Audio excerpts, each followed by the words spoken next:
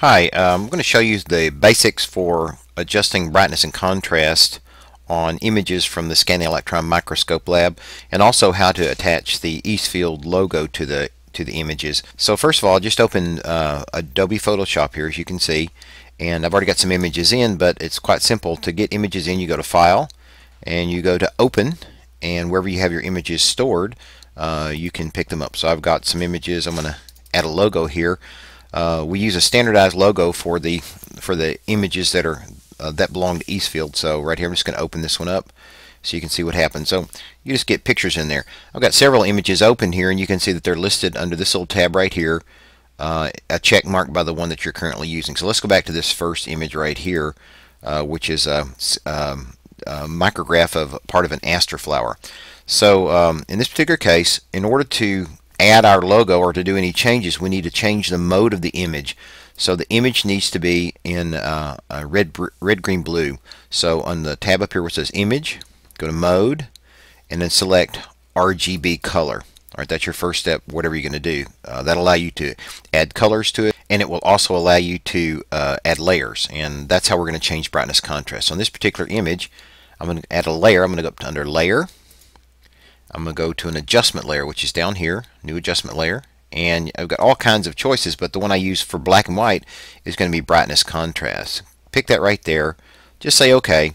And you'll see I get a little selector over here, which, which uh, will change the brightness and contrast. So now I can just grab this brightness contrast, and I can go all the way from you know super light to super dark.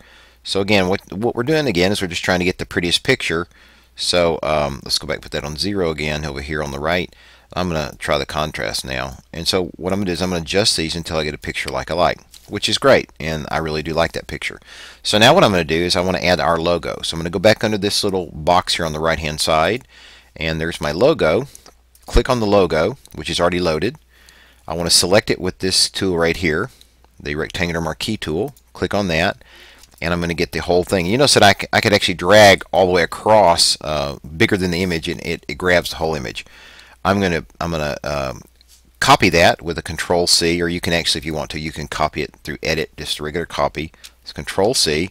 I'm now going to go back to the image um, that I was modifying, which is File 1, and I'm going to do a paste. And I've already got this sized so that you can uh, you can insert the the uh, logo. So click on the Move tool up here.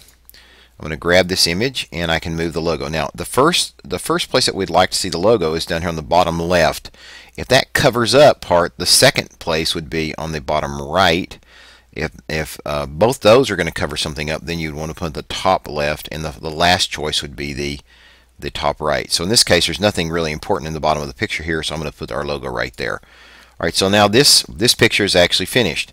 Um, so now I'm going to save it and this is also a pretty big image. It takes a lot of space so I'm going to go under uh, save for the web and other devices. And you see you can do an alt shift control S if you want to uh, but I'm going to click save for web devices. Um, I've got a window here. I'm going to say save. I'm going to simply navigate to the file where I want this saved which in this case I want it to go to uh, an SEM file, my SEM file. Aster, and you would of course pick your file, Aster for the blog and I'm going to give it a name here and this is uh, I don't know we just leave it file one that'll work for now.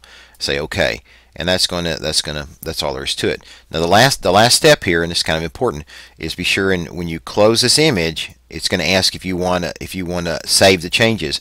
I always say no because I the the, the original image is, is saved in case I want to go back to it unchanged.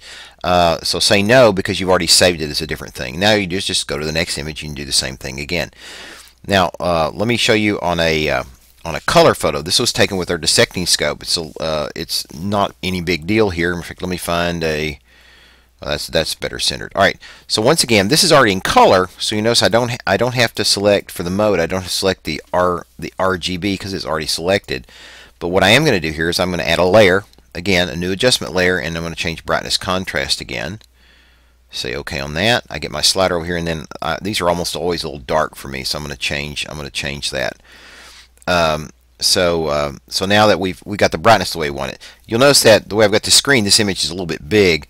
So there's a couple things. I can go under View, and I can I can go under uh, Actual uh, sorry Fit on Screen, which or I can do a Control O. In either case, that gives you the whole thing on the screen there. So now what I'm going to do is I'm going to, these images are way too big for the web. So we're going to go down to image size.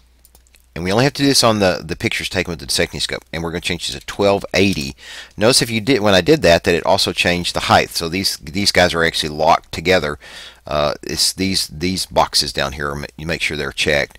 I'm going to say OK. Now I'm going to do Control O to see it's uh, to make it fit on the screen again, and that's what the picture looks like. Now I can paste in uh, Control V our logo, and our logo goes right down in the corner right right here. Uh, once again, what I'm going to do is I'm going to save for the web, and, uh, and we're just going to leave that image name right there. Actually, I want to I want to do this. This is the uh, the uh, stigma. No, sorry, the carpel. And to say save, and we're done. Then I'm going to close this image, and once again, what I'm going to do is it's going to ask me, do I want to save it? I want to save the change. I want to say no because I want that original image to be there in case I want to I want to use it. All right, so um, that's pretty much how you uh, how you work in Photoshop. Very basic ideas uh, of actually changing the brightness contrast. Remember, you have to go up under Image. Your first step with black and white pictures is to make them RG, RGB color, red, green, blue color. Um, and then under layers, you want a new adjustment layer to change the brightness and contrast. And by the way, if you don't change the picture to RGB, uh, you cannot do an adjustment layer. So if this if layers grayed out for some reason, that's why you didn't do RGB. All right, so there's your basic Photoshop